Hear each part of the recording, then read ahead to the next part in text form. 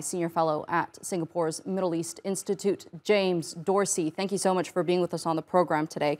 Uh, now, we're witnessing the first U.S. fatalities uh, in the in the region, with this possibly triggering a wider conflict. What are your thoughts?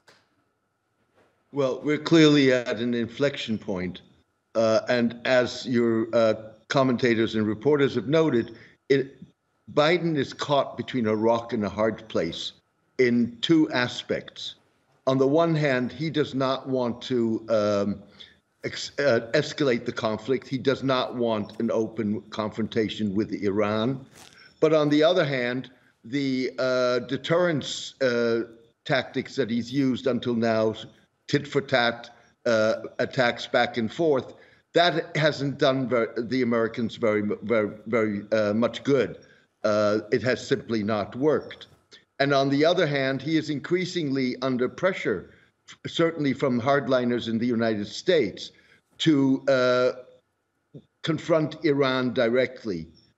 Essentially, you're hearing from people like uh, uh, like Senator Graham, like former Vice President Pence, that it's time to hit Iran and to hit Iran hard, which would mean an escalation of the conflict.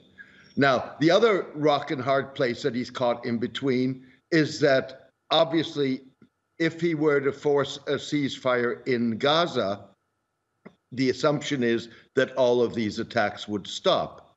But at the same time, uh, Biden supports the goal uh, of trying to destroy Hamas.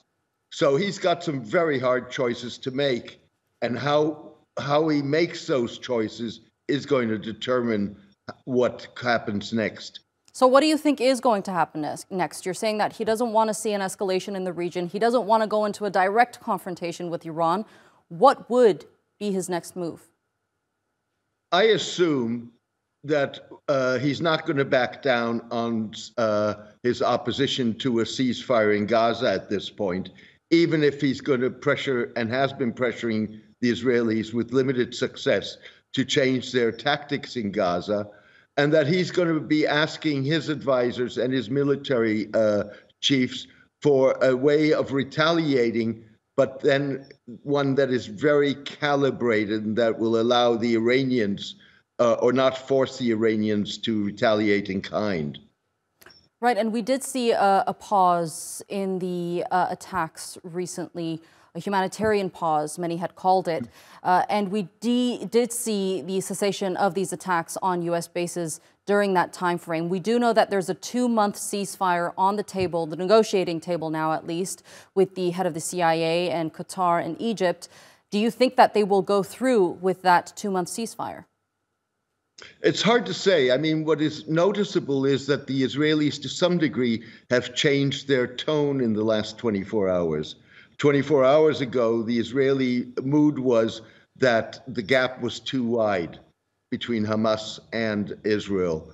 Uh, since the meeting in Paris between the uh, Qatari prime minister and the intelligence chiefs of the United States, Egypt, and Israel, the Israelis are sounding more uh, optimistic. The problem is that the two month um, ceasefire that was put forward by the Israelis uh, does not end the war. It simply freezes the war. And the Israelis have insisted that after that ceasefire, the war would continue, even if it may continue in a very different form than we're seeing it today.